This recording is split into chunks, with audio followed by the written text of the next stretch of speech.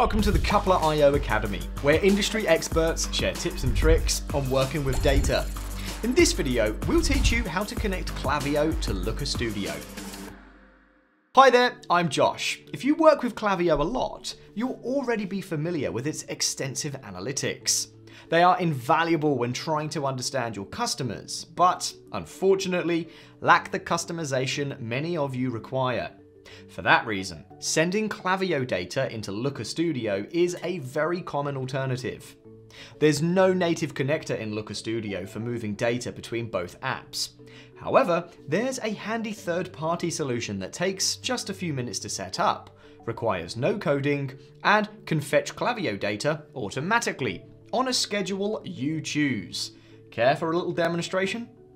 I'm going to use Coupler.io, a platform that integrates with dozens of apps and turns complex data into simple reports. If you don't have an account yet, you can hop on a free 14-day trial. No credit card is required. Sign up with your Google, Microsoft, or Xero account, or simply an email and password to get started. I'll go with Google and will click to create a new account.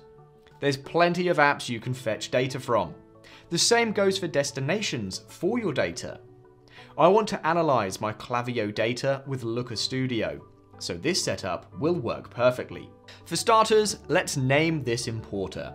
I want to fetch monthly reports from Klaviyo. Next, you need to connect your Klaviyo account.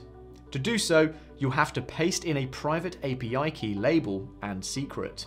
In the Klaviyo interface, click on your profile name in the bottom left corner and choose Settings and then API Keys. You can use one of the existing keys or create a new one. Give it a name which will be the label you'll need for your setup. Also set the read-only API scope that's required to transfer data from Klaviyo to Looker Studio. And now copy the label into Coupler.io and do the same for the key. By default, you can fetch the list of campaigns from your Klaviyo account. If you're happy with this choice, click Finish and proceed to jump to the next stage. The other available data entities are the list of profiles, as well as a report. I'll go with the latter. When fetching reports from Klaviyo, you need to choose a start and end date. You can pick specific dates, but for recurring imports, using macros may make more sense.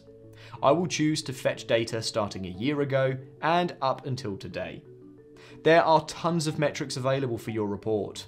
I'll just pick a few. Further fields are optional. Here you can add additional dimensions and below you can choose how the data should be split. By default, you'll see monthly split. At this point, you can proceed to transform your data and send it to Looker Studio. But if you want to blend data from other Klaviyo accounts, or from dozens of other supported apps, click to add one more source. I'll jump to the next stage where you can preview your data, add or remove columns, filter, sort, as well as create custom formulas to, for example, calculate some metrics not returned by Klaviyo by default. And the final stage, connecting Klaviyo data to Looker Studio. Click the button and authorize Looker Studio to use the Coupler.io connector, and then authorize Coupler.io to access your data. Okay, now click Connect, which will run the first import to Looker Studio. Once it's ready, you'll see the list of imported fields. Click to create a report. Add data to a report, and you're good to go. And that's it. Now you know how to connect Klaviyo to Looker Studio. But if you have any questions, feel free to ask them in the comments. If you've enjoyed this video, please give us a like, share the video with others, and subscribe to our channel so you never miss a thing. Thank you for watching and see you in the next video.